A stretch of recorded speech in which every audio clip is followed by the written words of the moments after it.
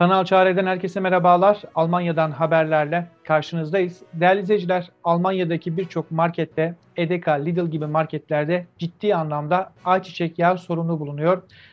Almanya Başbakanı Olaf Scholz yapmış olduğu açıklamada Rusya ve Ukrayna arasındaki savaşın gıda tedarikini olumsuz bir şekilde etkilediğini ve bundan Almanya'nın da etkilendiğini söyledi.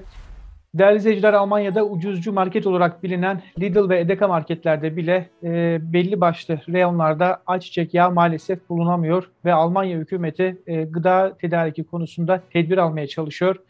Felaket tellallığı yapmak istemiyoruz ancak önümüzdeki günlerde Almanya'da ayçiçek yağı sorununun sadece ayçiçek yağı ile beraber kalmayacağı düşünülüyor.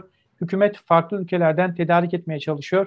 Ciddi manada e, Rusya ve Ukrayna'dan Almanya ayçiçek yağı ithal ediyordu. Bundan sonraki süreçte soya yağı ve pamuk yağı gibi alternatifler de gündemde. Bir de şu anda Çin'de de bir kapanma söz konusu.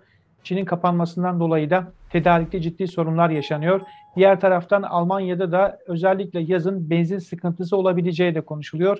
Umarız bunların hepsi dedikodudan ibarettir. Ancak Almanya Başbakanı'nın yapmış olduğu açıklamada bu e, kaygıları güçlendiriyor değerli izleyiciler. Tabii ki hükümet gerekli güvenlik önlemlerini alacak tedarik için gerekenleri yapacak. Umarız Almanya'da e, gıda krizi büyük bir krize dönüşmez. Değerli izleyiciler bir sonraki haberde görüşünceye kadar hoşçakalın.